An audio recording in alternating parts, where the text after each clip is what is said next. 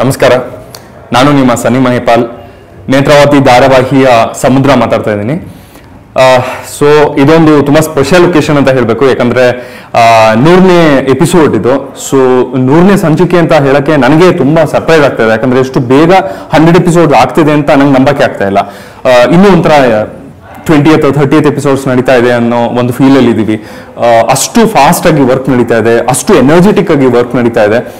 So ಬಹಳ ಖುಷಿ ಆಗ್ತಾ ಇದೆ. ಸೊ ಇದೇ ಒಂದು ಸಂಭ್ರಮದಲ್ಲಿ ಸಮುದ್ರ ಪಾತ್ರದ ಒಂದು ಬರ್ತ್ಡೇ ಕೂಡ ಸೆಲೆಬ್ರೇಟ್ ಮಾಡ್ತಾ ಇದೀವಿ. ಸೊ ಎಲ್ಲಾ ಕಡೆ ತುಂಬಾ ಒಂದು ಗಲಾಟೆ, ತುಂಬಾ ಒಂದು ಎಂಥೂಸಿಯಾಸಮ್ ಅಲ್ಲಿ ನಾವು ವರ್ಕ್ ಮಾಡ್ತಾ ಇದೀವಿ. ಬಹಳ ಖುಷಿ ಆಗ್ತಿದೆ ಬಹಳ ಎನರ್ಜಿ ಹಾಕಿದೀವಿ. ಐ ಆಮ್ ಶೋರ್ ನಿಮ್ಮೆಲ್ಲರಿಗೂ ಇಷ್ಟ ಆಗುತ್ತೆ ಅಂತ. ಸೊ ಈ ನಮ್ಮ ಸಂಭ್ರಮನ ಹೆಚ್ಚಕ್ಕೆ ನಮ್ಮ ಜೊತೆಗಿದ್ದಾರೆ. ಗೌರಿಪುರದ ಗಯಾಳಿಗಳ ಟೀಮ್ ಕೂಡ. ಸೊ ಅವ್ರು ನಮ್ಮ ಸಂಭ್ರಮನ ಒಂದಲ್ಲ ಎರಡಲ್ಲ ಹತ್ತು ಪಟ್ಟು ಹೆಚ್ಚಿಸ್ತಿದ್ದಾರೆ. ಯಾಕಂದ್ರೆ ಅವರು, ಅವರ ಅಬ್ರ ನಾವು ಪ್ರತಿ ದಿನ ಸಾಯಂಕಾಲ ಆರೂವರೆಗೆ ನೋಡ್ತಾನೆ ಇರ್ತೀವಿ. ಸೊ ನಮ್ಮ ನೇತ್ರಾವತಿಗೆ ನೀವು ಇಲ್ಲಿವರೆಗೂ ಕೊಟ್ಟಿರೋ ಪ್ರೋತ್ಸಾಹ, ದಯವಿಟ್ಟು ಹೀಗೆ ಇರಲಿ, ಇನ್ನು ಹೆಚ್ಚಲಿ ಅಂತ ನನ್ನ ಹತ್ರ ಕೇಳ್ಕೊತಿದ್ದೀನಿ. ಪ್ರತಿದಿನ ಮರಿದೆ ನೋಡಿ ಏಳುವರೆಗೆ ಉದಯ ಟಿವಿನಲ್ಲಿ ನೇತ್ರಾವತಿ ಧಾರಾವಾಹಿನ.